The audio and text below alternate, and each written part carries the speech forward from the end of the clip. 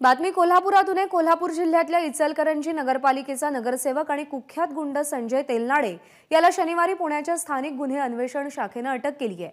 मागच्या दोन वर्षांपासून पोलीस त्याच्या शोधात होते. संजय तेलनाडे आणि त्याचा नगरसेवक भाऊ सुनील या दोघांनी एस टी सरकार या नावानं संघटित गुन्हेगारी टोळी बनवली होती. तेलनाडे बंधूंच्या विरोधात वेगवेगळे सतरा प्रकारचे गंभीर गुन्हे दाखल आहेत. या दोन्ही भावांवर मोक्का अंतर्गत कारवाई करण्यात आली होती. दोन वर्षांपासून संजय तेलनाडे फरार झाला होता. तो पुण्यात असल्याची माहिती मिळताच पोलिसांनी त्याच्या मुसक्या आवळल्यात. एबीपी माझा. उघडा डोळे बघा नीट.